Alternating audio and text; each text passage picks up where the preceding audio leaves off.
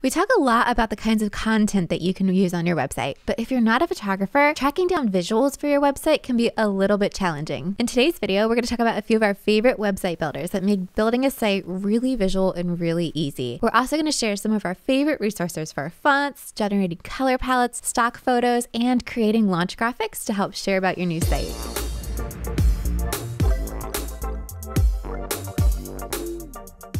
Hey friends, I'm Krista from Davey and Krista, where we help businesses build brands that book. Before we get started, make sure you hit like and subscribe on this video so that you get future updates about new videos we've released. And if you have any questions, drop them in the comments below. So first up, we're going to talk about platform because before you get too far into the visuals of a website, it's helpful to make sure that you're working on a platform that actually makes it easy to customize those visuals. Some options such as Squarespace are really limited, which kind of makes it easy in some ways because you don't have as many design decisions, but in other ways, it makes it more difficult to implement your brand. We've explored a lot of different platforms for building websites, but the only two we use and recommend are Showit and the Elementor plugin, which is added to a WordPress site. For a more in depth comparison between the two platforms, make sure you check out our Showit versus WordPress Elementor video. If these platforms are new to you, Showit is a drag and drop front end visual editor that requires absolutely no code. It makes it really easy to make a site look exactly the way you want, and you can design on both desktop and mobile. Showit is designed for photographers and creative professionals, and it's a platform we really love. Elementor is a drag and drop editor that gets installed as a plugin on a WordPress site. It is not quite as like put things wherever you want the way Showit is, but it's really powerful, and it's what we ended up using on our own website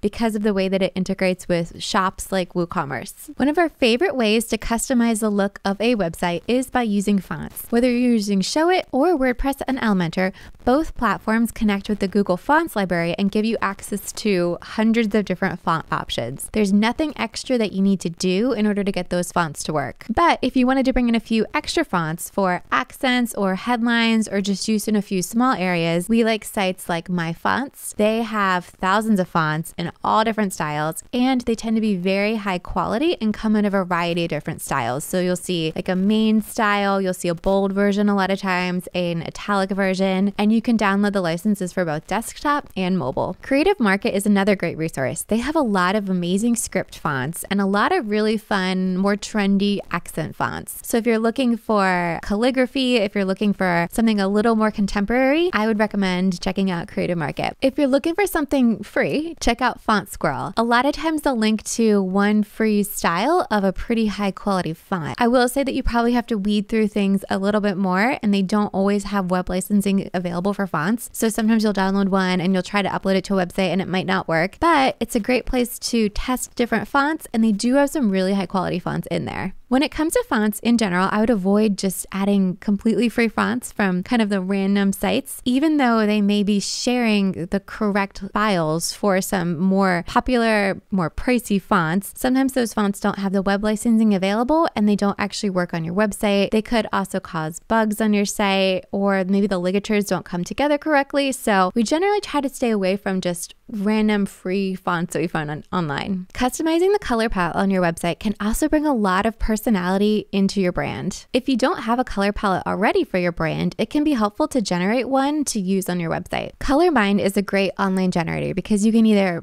generate color palettes based on web colors or one specific color and colors that coordinate it, or you can do a random popular palette. If you have your heart set on one specific color, you can lock that and then experiment with different colors that populate next to it, and it will even give you a quick preview of what it looks like on a website. Paletton will let you select a color and then choose different color palettes to go with it. So you can experiment with something that's monochromatic or two colors or three colors, etc. Adobe Color Generator works the same way. You can put in an existing existing color and come up with different complementary color palettes. Or you could use the random generator and experiment with some new colors that you haven't tried before. Color Hunt has great pre designed palettes if you just need some ideas. And coolors.com will let you generate a color palette from an image. So if you have an image that represents your brand really well and you just love the way the colors work in the image, you might be able to use that to generate a color palette from the image. And if you want to dive a little deeper into generating color palettes for your brand, check out the next video on choosing the perfect brand colors. In today's highly visual world, images are more important than ever when it comes to populating a website. So if you're not a photographer or you just need a few images to round out your website, here are a few great stock photo resources. We're personally big fans of Social Squares. We pay for a subscription ourselves and we love the way that they add a whole lot of different images each month.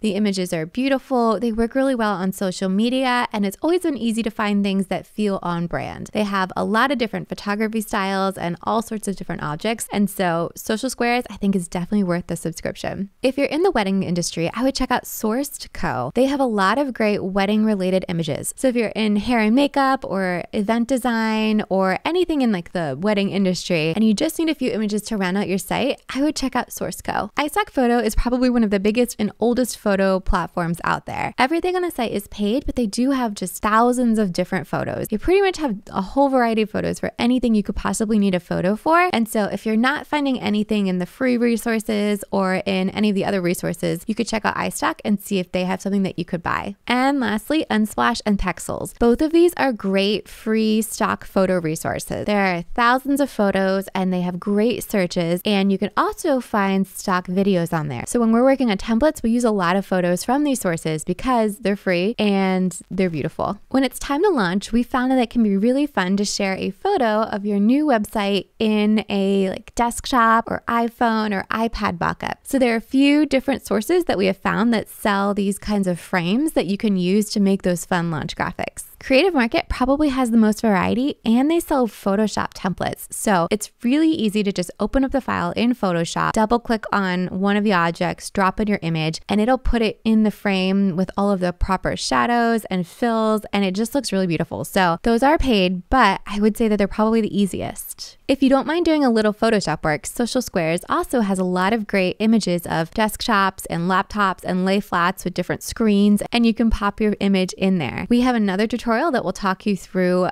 the whole process of adding your screenshot into a phone. Just keep in mind, it's not quite as simple as the creative market method. It is going to take a little bit of Photoshop finagling to get it to work. And if you're looking for something free, check out Pexels or Unsplash because they also have some images of devices that you could use to create launch graphics. All right, and lastly, lead magnets. If you need to create some sort of PDF incentive to help build your mailing list, we have a few great resources for putting that PDF together. When our team does these, we personally use Adobe InDesign, which is premium software. It's probably the most advanced, but it's made for publication design. And we find that it makes it really easy to edit text and adjust the flow of text and format something in an editorial way. But if you're not into InDesign and it's a little overwhelming, or you just don't want to pay the monthly fee that it costs, you could also create your PDF in something like Sketch. We use Sketch to do our websites, and it's a simple one time fee. Sketch is similar to Adobe Illustrator, but I think the export options are easier. It makes it easy to select a page or multiple pages and export them as a PDF, a JPEG, a PNG, an SVG, lots of different options. So definitely check out Sketch. Another great alternative to the Adobe Suite is Canva. You can design all sorts of graphics in Canva. I would just make sure that if you're going to design a lead magnet in Canva, all of your text gets exported